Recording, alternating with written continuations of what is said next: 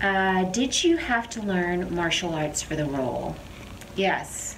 Yeah, I did. So originally, when um, they conceived of the character of Teyla, she was not she was not really a fighter.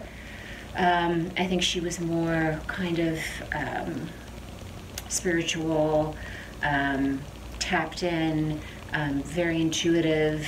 Um, diplomatic, etc. All of those wonderful things that made up Teyla, but she wasn't she wasn't a fighter. And I come from a dance background, so when um, James Bamford, who was the stunt coordinator at the time, when he saw me, um, he figured that I might be able to handle a little bit of action, and he gave me a couple of of things to take home and practice uh, with the Kali sticks, and I practiced them like mad and uh, it worked out and it just turned into something organically that was a part of Teyla. So I continued to train with um, a number of martial artists as well as stunt performers who obviously have their background in martial arts and I took it seriously and I, I really loved it.